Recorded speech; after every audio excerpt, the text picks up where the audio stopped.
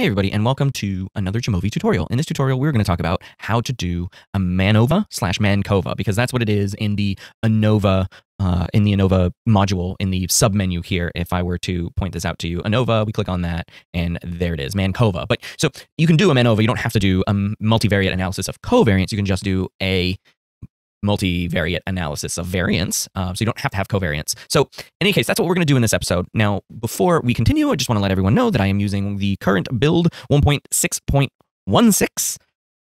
As far as I'm aware, that is the most recent version as of recording, but uh, the module should work fairly similarly as we go through. And I believe I had to add it through the modules function here by clicking on there and going to the Jamovi library and adding in uh, more tests, I believe. Uh, where are you? Uh, more tests. This one by Jonathan Love and Victor Moreno that adds in more uh, more tests as well as different normality uh, additions to the tests that exist in base Jamovi. So let's open up some data and we'll come right back to our MANOVA discussion.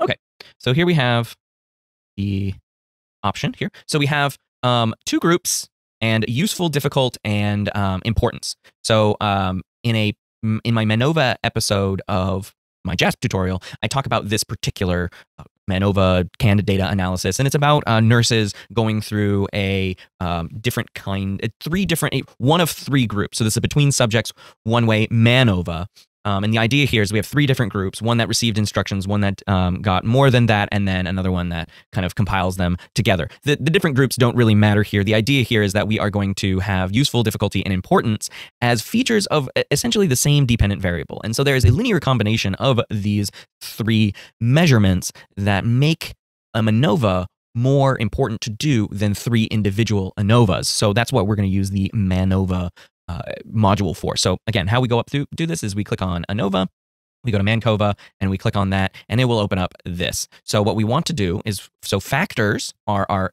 independent variables.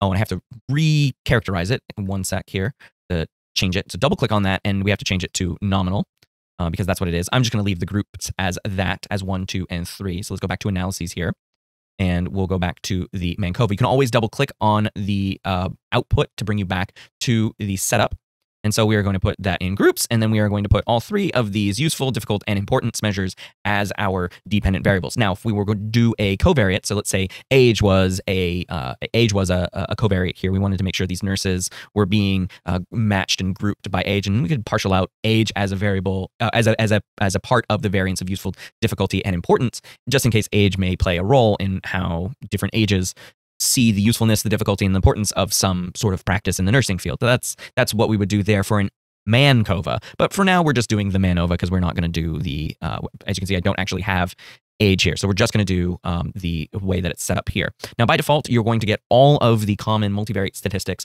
that get spit out at you in SPSS. Pillai's trace, Wilks lambda, Hotelling's trace, and Roy's largest root. Now, Wilks lambda is, uh, from my schooling, is the uh, most common one used. So you would talk about Wilks lambda first, which is the statistic that you get that can get converted into an F, and then using you know degrees of freedom here, you get uh, a p-value associated with that F.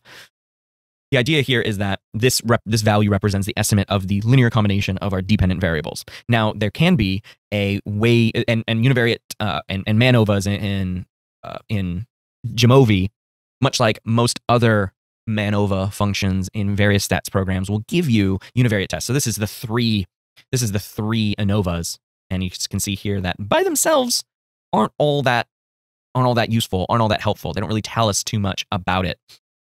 Um, and then here's the residuals or the error for each of these. And so these are three individual uh, one-way ANOVAs, and this is the output for the linear combination of these three dependent variables. Now we can get some assumptions. We can do Box's M test for homogeneity of covariance matrices. You get a chi-square uh, test of this. So chi-square is one degree of freedom, and then you get a p-value associated with this. And again, p-values are associated with um, violation of the assumption, and so it appears that we have not violated the homogeneity of covariance matrices. We can also get um, multivariate normality.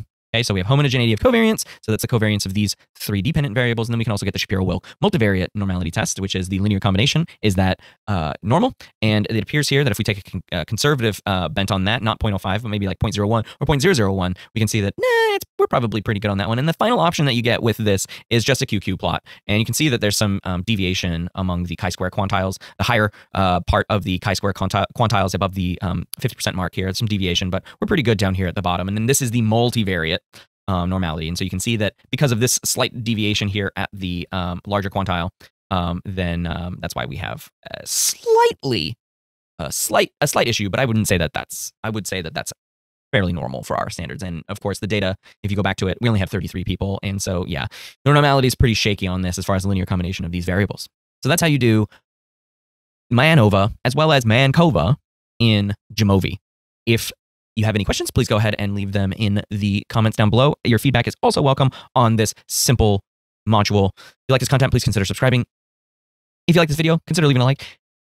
And stay tuned for more Jamovi tutorials. Thanks for watching.